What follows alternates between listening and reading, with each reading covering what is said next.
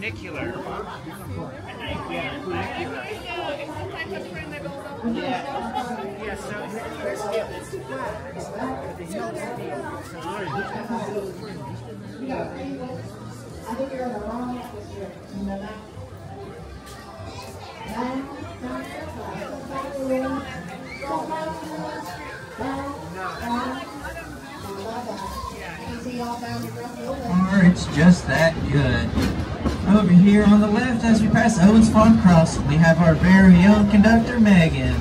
Wave at her and tell her to feed the chickens, though she forgot to last time.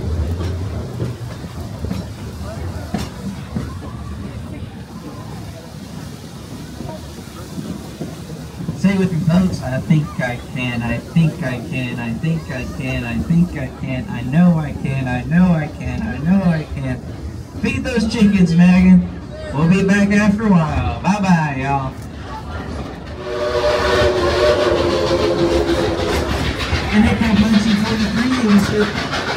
Paul Motorsports Racetrack Pennsylvania Boulevard navigates the Thomas Style engine number 192. She weighs about 211,000 pounds. Is a Type 282 now in 1960. Engine 192 was retired from the White Pass Yukon Railroad. And in 1961, she was sold to an East Tennessee theme park named Rebel Railroad. It was then she officially became known as Klondike Katie.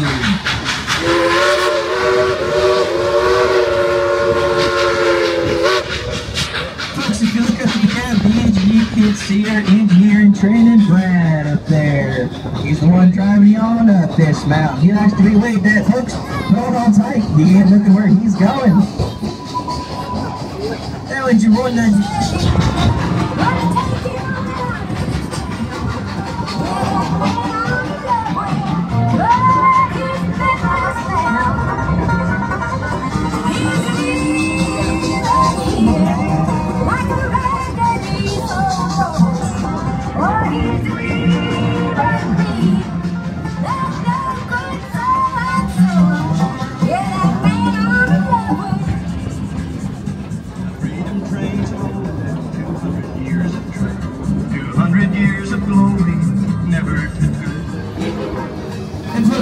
down there in Craftsman's Valley, we have Dollywood's very own chicken lady, Miss Lillian. She's got the umbrella in one hand and a chicken in the other.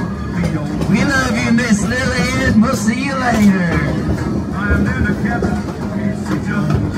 Holders in his hand, Casey Jones. Now, folks, as we roll back through this crossing up ahead, remember that big southern howdy we gave these folks when we left?